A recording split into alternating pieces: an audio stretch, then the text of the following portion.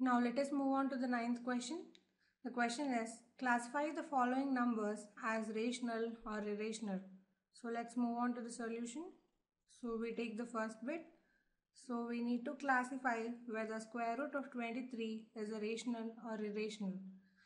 The decimal expansions of those numbers which are non-terminating and recurring or terminating are called rational numbers and the decimal expansions of those numbers which are non-terminating and non-recurring are irrational numbers.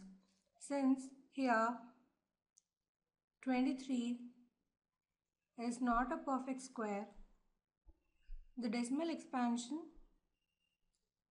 of square root of 23 is non-terminating and non-recurring. The decimal expansion can be found out using the long division method. So when we find, we obtain the value square root of 23 is equal to 4.79583153 and so on. Here the decimal expansion is non-terminating and the digits are not repeating. Therefore, square root of 23 is an irrational number. Now let us move on to the second bit. So here we need to classify square root of 225 is a rational or an irrational number.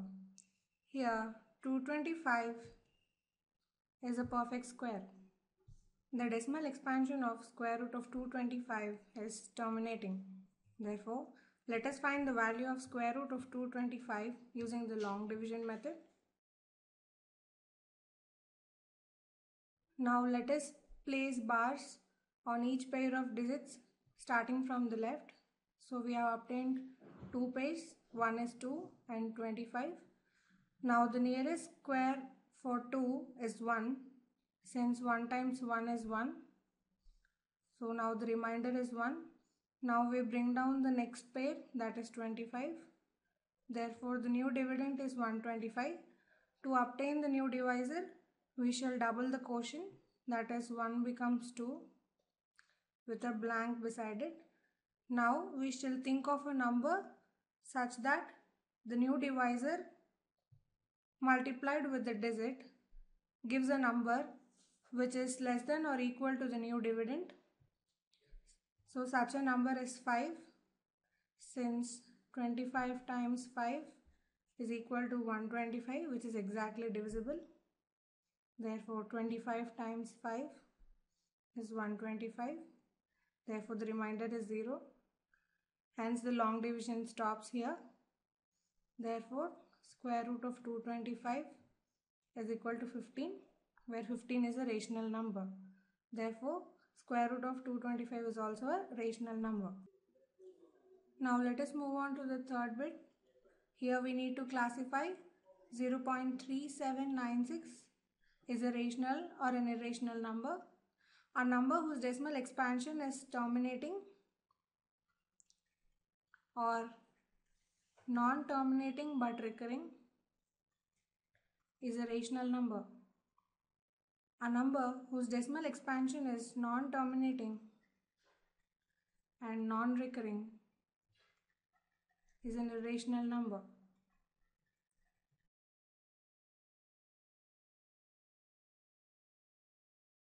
So here the decimal expansion given is terminating decimal expansion. Therefore 0.3796 is a rational number.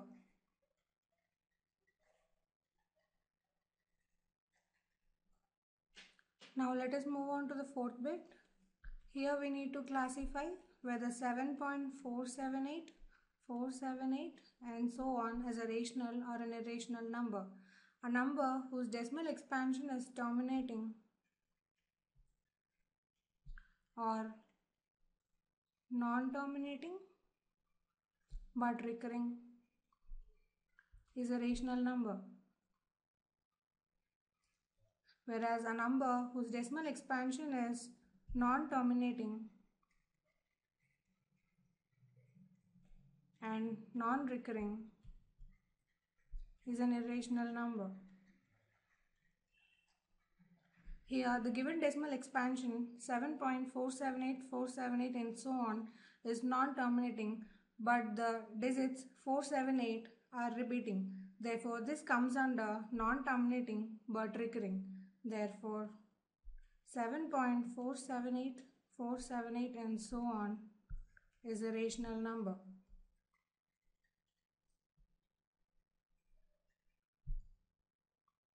Now let us move on to the fifth bit.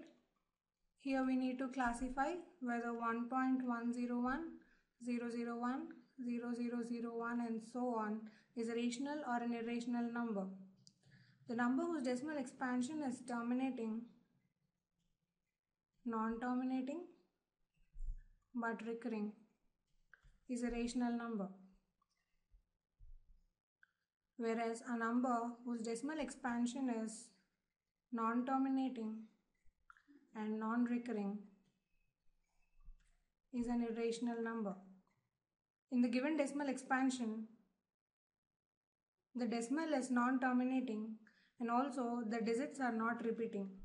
Therefore, this comes under non-repeating and non-recurring. Therefore, 1.101, 001, 0001 and so on is an irrational number.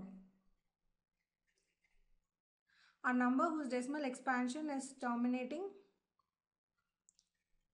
or non-terminating but recurring is a rational number. A number whose decimal expansion is non-terminating and non-recurring is an irrational number.